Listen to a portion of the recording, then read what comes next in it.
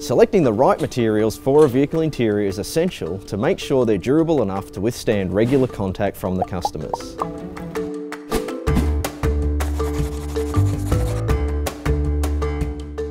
There's many examples where the customer comes into contact with the hard trim with either their nails, rings or jewellery which can scratch the plastic.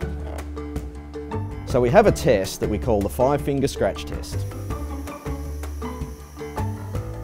Five pointed fingers apply different levels of force to a pointed scratcher and we can get a direct measurement of how much force is required to scratch the components.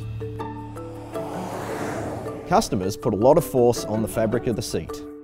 For the stretch durability test, we basically stretch the fabric to ensure that the fabric returns to its original condition. And this makes sure that the seat covers don't become stretched and loose over time.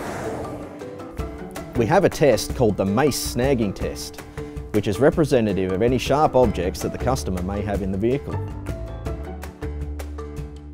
The spikes impact the fabric as well as get dragged across the fabric to ensure that the fabric doesn't get damaged from scissors, keys, pens and any type of sharp object that could damage the fabric.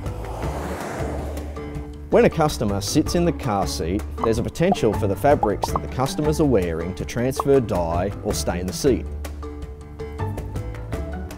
So we have a Martindale resistance test to measure whether the fabrics are susceptible to dye transfer from materials like denim.